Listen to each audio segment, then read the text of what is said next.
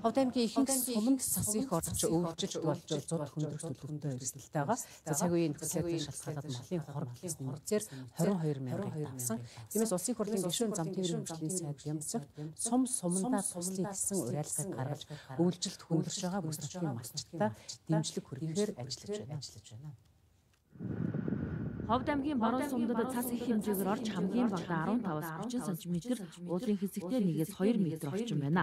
Энэ нь тухайн сумдад цус хүндрэх эрсдэл хүргэж байна. Цаг үеийн хүндрэлээс шалтгаалж сүүлийн үед малын хорогдолт ихсэж 22 мянга хүрсэн. Малчдын тухайд дөнгөж 2-ээс эхэлж байхад малаа тижээж эхэлсэн. Малчдын тухайд дөнгөж 2-ээс эхэлж байхад малаа тижээж эхэлсэн. Өвлийг яаж игээ давах хаврын хавсахыг давхад хүндхэн байх тухай ярьж байна энэ хавартай нөөлөл үйлчлэлд бол малан хижээх талдаа дандаа бэлчээр муутай гац муутай байсан учраас тийм учраас одоо ер нь биднэрт өвс тэжээл ийм туслан дэмжлэг хэрэгтэй байна надаар ер нь их их хэмжээгээр ерөөсөө бэлэнчлэх сэтгэлгээ татаад байгаа биш.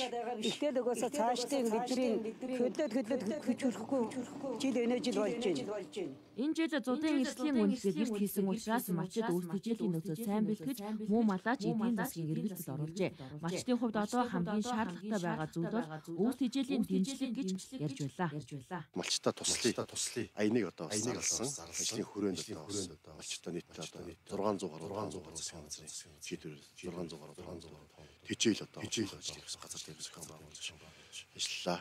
Мөн одоо сумжид хөндөрсөн сумдууд тодорхой хэмжээнд одоо шатхуун шатхуун болох ажлыг зохион байгуулж байна. Сум сумдаа төслийн уриалгыг засгийн газраас гадна Улаанбаатар хот дэх нутгийн зөвлөл мөн дэмжин малчдад тусламж үзүүлж байна.